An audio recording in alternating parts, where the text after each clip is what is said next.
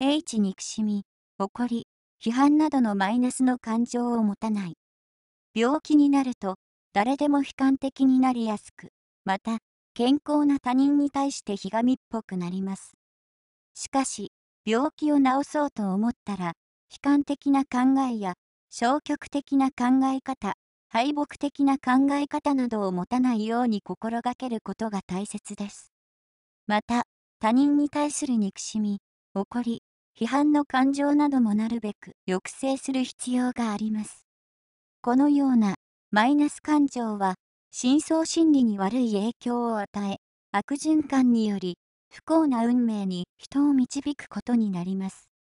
患者さんでも手術や治療の後で、ありがとうございますと笑顔で答えてくれる人は、経過も良いことが多いのですが、逆に、どんないい治療をしてあげても苦虫を噛みつぶしたような顔をしていたり、文句ばかり言って経過が思わしくないと、すぐに医療ミスだと騒ぎ立てるような人は経過が悪くなります。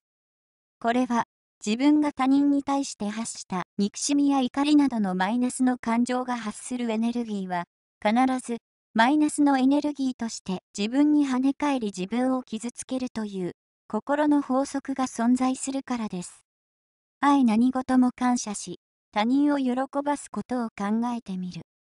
マイナス感情とは逆に愛情や喜びや感謝といったプラスの感情を他人に対して発したときはプラスのエルネギーとなって自分に返ってきます。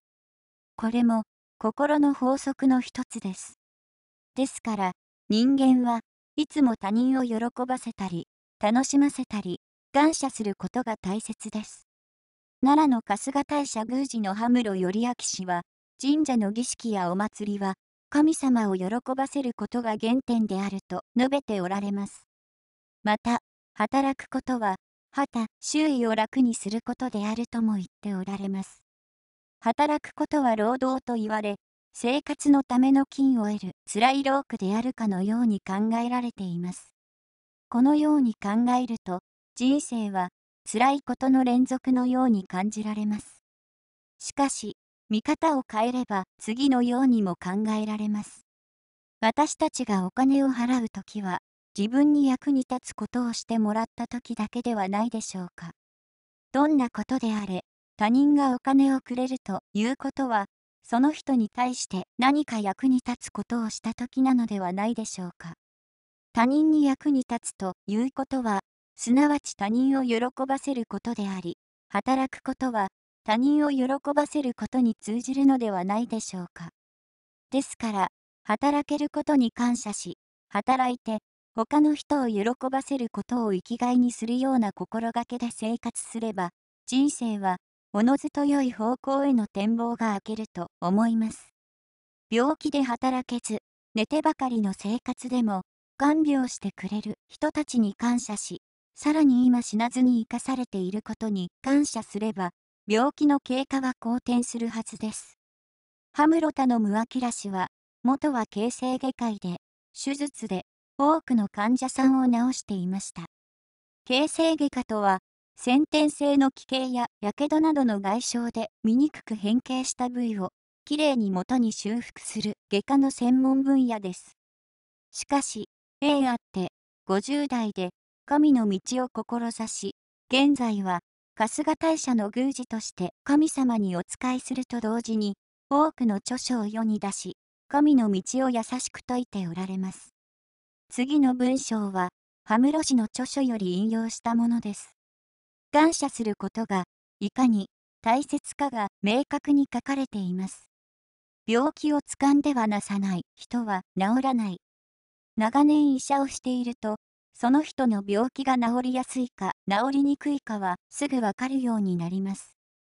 それは、病気が重いか軽いかではなく、その人の心の持ちようによるからです。例えば、2回目の治療に来た時に、先生、